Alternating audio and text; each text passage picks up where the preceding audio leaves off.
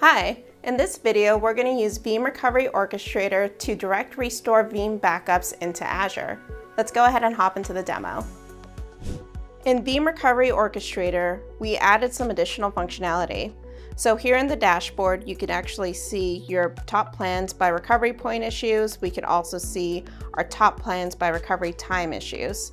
So this gives us some options to be able to identify quickly which orchestration plans might need to be edited or changed in order to make sure that we're hitting our recovery time objectives and recovery point objectives uh, for disaster recovery. First, we're gonna go into administration tab and we're gonna go ahead and look at some recovery locations. So this is gonna be the location that we actually want to set up our restores to happen. Here we're gonna be adding in our Azure location. Now you can see here that we actually have some recovery plans running to this location. So we just wanna make sure that we don't make any changes, otherwise those will actually affect those. So this is gonna take some time to enumerate. This is actually just communicating back to our on-premise Veeam Backup and Replication server and giving us the additional information about what our Azure cloud environment looks like. So we're gonna go to next and we're gonna choose our recovery options and specify which actual workloads will be recovered here. And then we're gonna select our backup server that we wanna use and actually pull the backups from. Inside of that backup server, you'll see your subscription that's been added in for Azure to perform the direct restore to. And then we're gonna choose our available repository to pull the backups. Next, we have the available proxies. These proxies are gonna be utilized for performing the direct restore, so you could set those up previously, and then you have your option to select a few.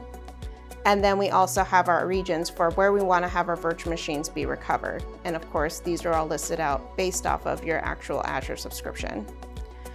Now we have our resource group that we're going to be utilizing as well as choosing the cloud virtual machine configuration. So you'll see here you actually have up to three different configurations you could choose from.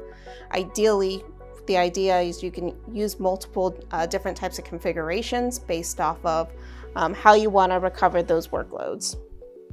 Now we have agent network mapping. We're gonna actually skip through this, but just a quick little rule of thumb, you can use 000, um, and that'll add, automatically apply a mask, and it'll just pick up any of those uh, agent networks and automatically deploy those into the Azure environment. You have your VM network mapping as well. That's also gonna walk you through how to do uh, how to actually map the networks from your VMware environment up into Azure. Um, again, setting up your subnets, uh, choosing which hosts, which data stores you want to be able to recover uh, those virtual machines to within Azure. And the next piece in here is actually your quarantine network. So this is actually uh, something that's brand new with version 6 of Veeam Recovery Orchestrator. So as we're going through a process of performing what we call clean DR, we want to ensure that those backups aren't going to be um, any host anything that's malicious or uh, potentially uh, have anything from a ransomware perspective onto those.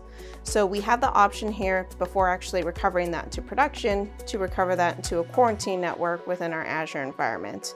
You'll just have to make sure you set up that quarantine network beforehand and then you check a box and you can have that option to use utilize this as the recovery location.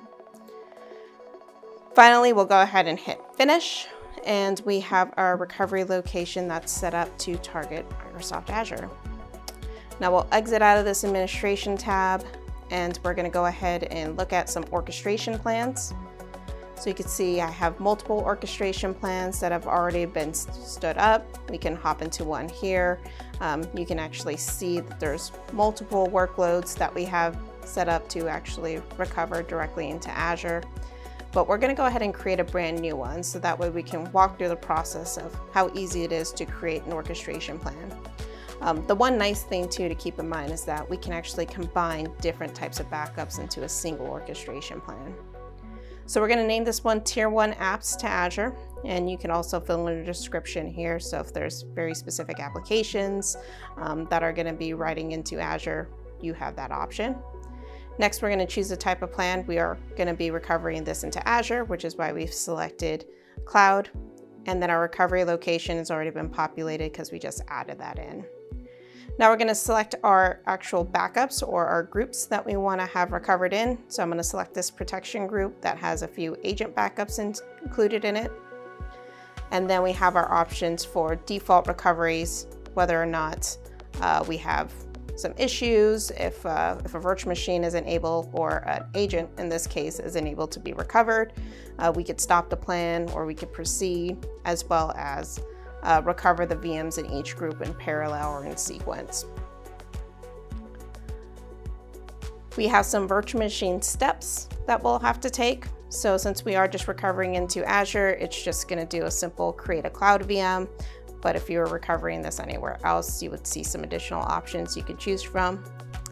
And now we're gonna set our target SLAs. So your recovery time objective, maximum time allowed before the service is restored after failure, and your recovery point objective, the amount of data that's gonna be acceptable from a data loss perspective. We'll go ahead and we'll have the report downloaded and then we'll have that report actually scheduled as well. So that way we know that this is gonna automatically do a check to verify that the repository is available for us to perform a restore from those backups, but then also that we have the necessary credentials in order to talk to Azure and so that those virtual machines that are we're gonna be configuring in Azure are gonna be available as well. So once we hit next and finish, we'll see this orchestration plan will be built. And we're gonna go ahead and kick off one of these orchestration plans. So I, you see here I have two Windows agents that we're gonna go ahead and recover to Azure. We're gonna enable the plan, plug in your password for credentials so that way we know it's okay to restore these in Azure. Uh, we can download that readiness check report here so we can see the summary and everything that has been verified. Next, we'll go ahead and choose the restore point, which we're gonna use the latest one. And then we also have the option to do an additional ransomware scan. So we can go ahead and scan the restore point. We can select up to 10 by default, or we can change this to two, which I'm gonna actually change it to two specifically because I've already scanned this previously, so I know that there's nothing malicious there. But if we did find anything malicious, we can cancel the restore, proceed to the next step, as well as complete the restore, but connect it to that quarantine network that we have added into the recovery location. So there's our summary. We'll go ahead and kick this off. It'll take a few just to kind of refresh the screen. Um, and then I'm also going to kind of skip through this because again, remember it is direct restore to Azure. So we're taking a backup and we're actually converting that backup on the fly as an Azure virtual machine. So you're gonna see all the steps that's, that's gonna entail as far as our recovery point objectives, recovery time objectives that were set, our cloud VM configurations that are gonna be utilized, where the restore location is, Next, you're gonna see the Windows Defender. That's what I'm using by default to do that AV scan on the actual machine itself. We have two of them in here, so it's gonna scan one first and then it's gonna proceed to the next. Once it does its scan and it verifies that there's nothing, there's no threats detected, you're gonna see that error output. And now it's gonna start the restore job using that Azure proxy we selected instead of recovery location. And then gonna go ahead and process and start restoring those disks. So this is gonna take some time, but we're, again, we're just gonna skip through some of this while I edited this so that way we can move on forward. So next you're gonna see the restored disk. You're gonna see the perform to the conversion.